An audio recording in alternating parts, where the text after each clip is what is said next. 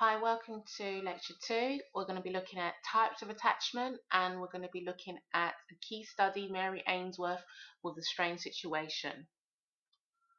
Right, so what you need to know for the examination is that there are three types of different attachments we can get.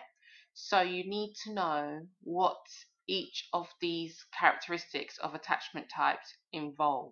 So and another way to remember it as well, if you think that secure attachment is always type B, insecure avoidant, if you think of the A as avoidant, so A being avoidant and then type A, and the other one resistant is just C. So make sure you remember which types they are as well. Um, secure attached children, um, they love exploring because they know that their caregiver is always going to be there to protect them in case they get hurt so they don't actually feel any problems in exploring. However, if a stranger does come to try and um, communicate with them, they're not going to like that very much because it, um, they, they, it's not their primary caregiver. Um, when their parents do leave, they do get quite upset, but some are quite easy to soothe, others are not. But when the caregiver just come back, like the mother, um, they are really, really um, happy and enthusiastic about the reunion. Insecure avoids, we, we kind of say securely attached children, um, sorry, they have parents who are very sensitive to their needs. Um, unlike insecure avoidance, so there are two types of insecure attachment. So avoidant, these kids, they will explore the environment. They're quite independent, so they don't really need their prim primary caregiver as much um, they're not really that much interested in strangers because they don't really see strangers as a threat because they're so independent in their nature anyway. Um, they can be, so not all the time, they can be quite upset if parent does leave, but again, not all the time. And when the parent does come back, they just again do their own thing. They're not even seeking um, any type of um, reunion with their caregiver. They just kind of ignore the caregiver. And finally, our second type of insecure attachment we have is insecure resistant. Um, these kids, they're quite ambivalent, uh, ambivalent. They don't really um, like exploring the envi environment and they're not really stranger people either. However, when a um, caregiver does leave them, they do get quite upset. But again, when she comes back or when he comes back, um, they don't. Sometimes they can reject them um, sometimes they can seek them or sometimes they do both. They both seek them and reject them. So it's very quite shaky these type of children. And we say that insecure avoidant parents so going back to insecure avoidant these parents um, tend to ignore their child a lot. And insecure resistant they tend to be quite sometime-ish with their child. For example oh um, fridays I want to stay at home with my child, for example. On a Saturday, I, I just want to go out with my friends. So their behavior, their the parents' behavior is not so secure. It's very ambivalent, so it keeps changing all the time. So I love you sometimes, sometimes just getting in the way. It moves us on to our key study of attachment that you need to know, um, especially, especially when we're looking at types of attachment, and it's by Mary Ainsworth. And what she devised is a um, scenario called a strange situation. You just think about the name. They're trying to create a strange situation for a child to be in. And what they wanted to test, what Mary Ainsworth and and research other researchers wanted to test, they wanted to look at particular type of behavior, such as um, reunion behavior, exploration behavior, how much strange, strange anxiety they had. So do they feel quite anxious when strangers are around? And they wanted to look at their separation anxieties, how, how upset they were when their primary caregiver left. So they were observing all these types of um, behaviors in this particular situation.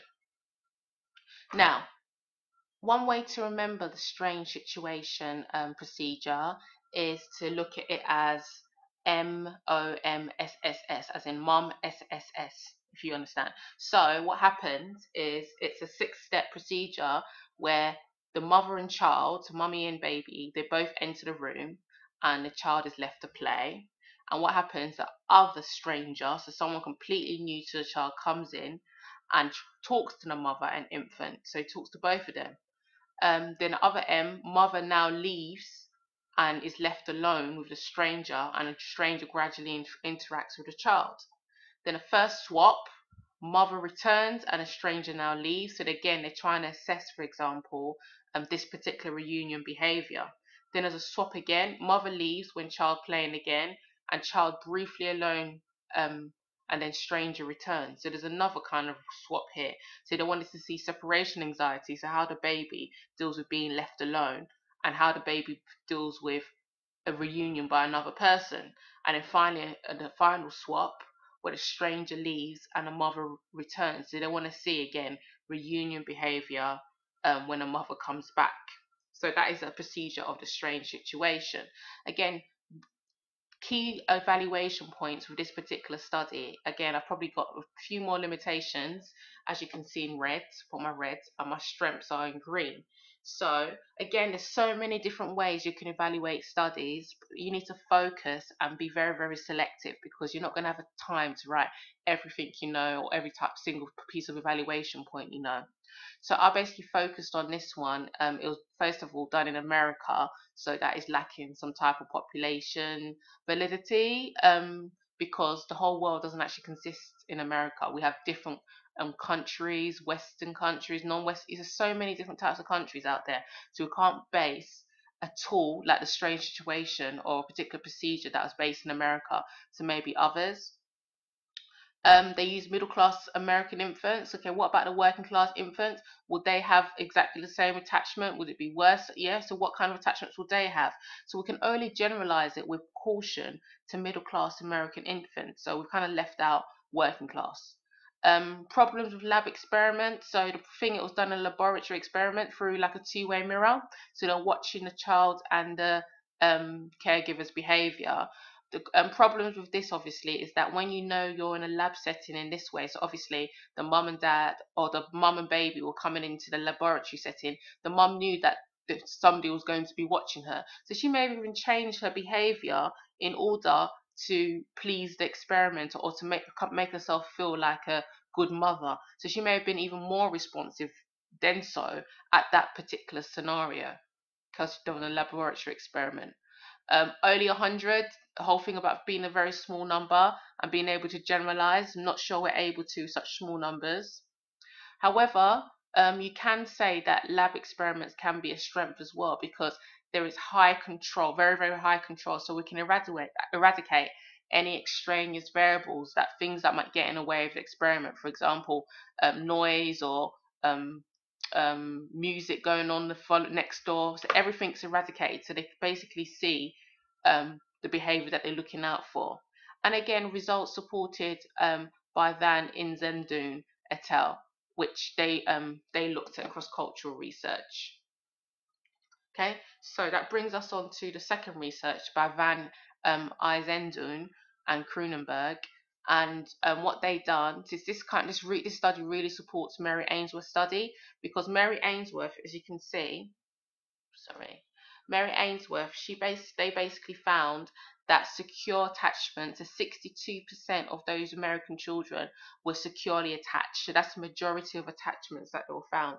And they want to find secure attachment because the secure attachment um, they feel is best for emotional development. So what um, these two guys done is they conducted a meta-analysis of findings. So make sure you know what meta-analysis is. It just basically means a compilation of different studies that have been done using a strange situation and they're looking for an overall conclusion. So they don't actually go out and do the study themselves, but they, they just collate all the different types of results from different studies together.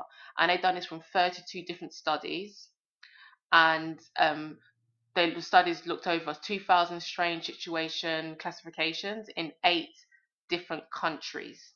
Okay, so it looks at different countries of the world, so it's a very cross-cultural one. Um, again, they found they supported Mary Ainsworth's study and found that secure attachment was the most common, followed by avoidant, and then um, followed by insecure resistant. Okay, um, insecure avoidant was the most common in every country again except Israel and Japan I think in Japan it was probably insecure resistant. But generally, um, you need to know secure attachment was the most common. So this tells us if it's done cross-culturally that we're born with being able to form attachments um, because they found it in all different countries. So we can say that attachment is innate as a key strength because this is what they found. Um, and as negatives, cultural bias. Strange Situation was created in America. Now, you're using what you feel, for example, what um, Americans feel as secure, and using that to judge other particular countries, which is not really fair because some countries, for example, they may not actually like a clingy baby. They might say that babies who are independent um, to them are more secure. So we can't really base westernized countries like America and use that as a framework for other particular cultures. And that's what we basically done in this particular study. And then obviously we have problems with meta-analysis. Now, the problem with um, taking on different studies to try and look for an overall conclusion is that the different studies, they all use different types of designs. So some of them might have used um, repeated measures, independent groups. So generally, the conclusions may not be valid because we're not we're not actually comparing correctly. When you compare correctly, for example, two um, of the studies of the same studies have to be exactly the same, use exactly the same tools, equipment, um, but this one actually wasn't simply because it wasn't. Um, um they. They might not have used the same design. Okay, so we're not sure with meta-analysis, so that might be an issue with validity.